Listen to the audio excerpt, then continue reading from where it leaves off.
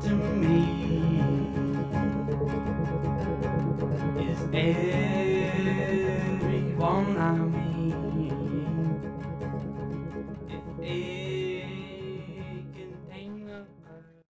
Okay, the first thing that you're going to want to do is um, make sure that the coffee cans don't have a plastic wrapper around them like this one does. This one doesn't. It's just the way that it comes. And like this one right here, it had a plastic wrap around it. And this one looks like it does.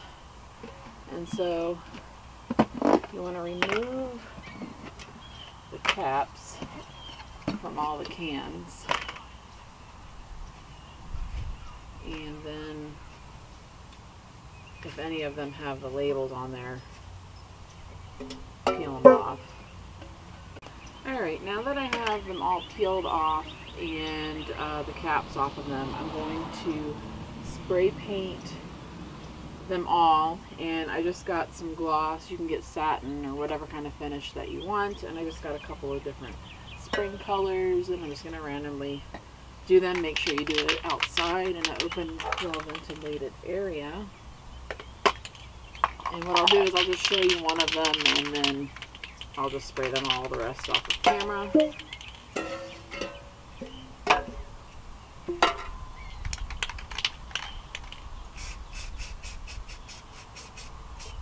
And you might have to do a few coats to cover the, um, like you can see through here a little bit, so I'll just spray a little bit more.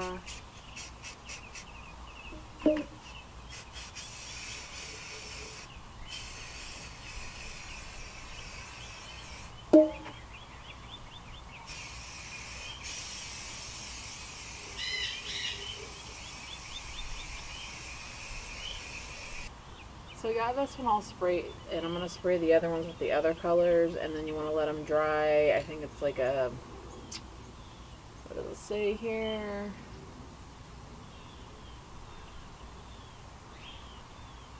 It says you can handle it in one hour. It will fully dry in 24 hours, so I'm going to let them dry for an hour, and then I will be back with the rest of these painted. Alright, so these pans or coffee pots have not completely dried, but they're dry enough where I can add my plants. So I just picked up some herbs and some strawberries, and I'm just going to show you how I fill one of them on camera. So I have here a basil plant, and what I'm going to do first is I have some potting soil that's for fruits and vegetables I also use it for herbs. And I'm just going to basically fill the pan about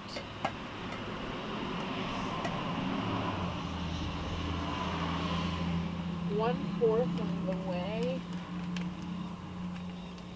just to get a nice base for the plant to sit in. And there's a bunch of nandays flying around, so you'll hear them. We have a lot of parrots around here. So then,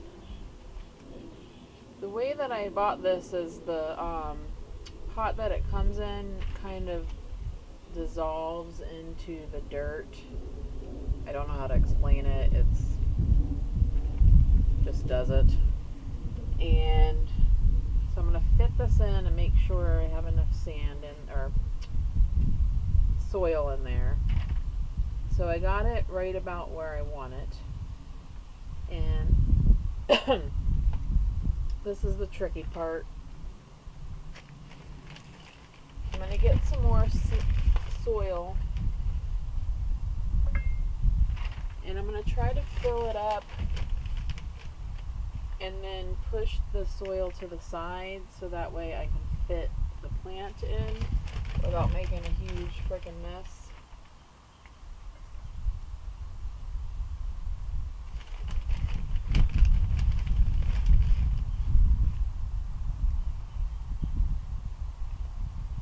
So I don't pack it in, and I have it uh, about three fourths of the way full, and I'm just going to kind of make a groove in the middle to put the plant in.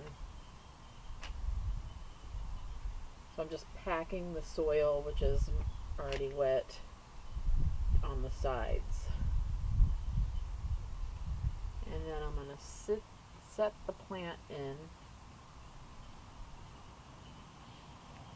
And if you have to, dig a little bit deeper and just push some more soil to the sides.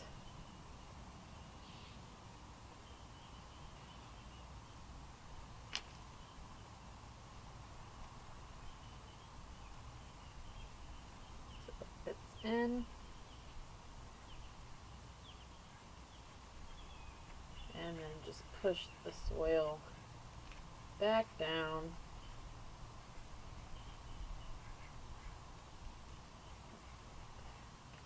That's going to hold the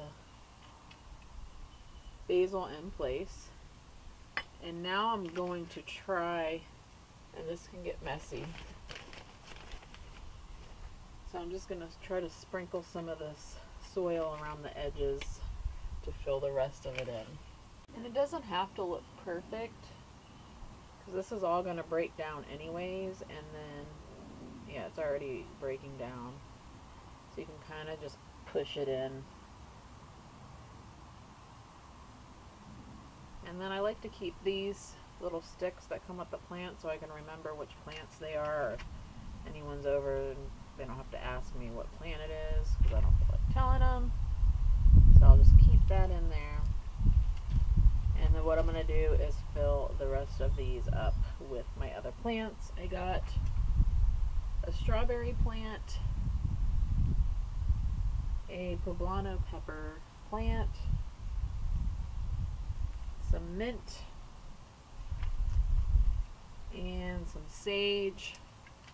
And I got a whole other stuff over there. It's like peppers and basil and stuff like that. So I'm going to fill these all up and then I'll show you when I'm done.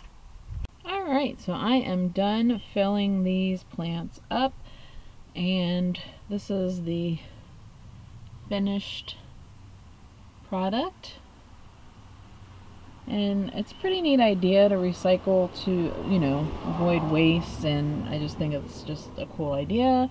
So this concludes my DIY for repurposing tin coffee cans. If you did like this video and want to see more DIYs from me, give me a thumbs up or give me a comment in the comments below and subscribe if you haven't already and I will see you in my next video. Bye!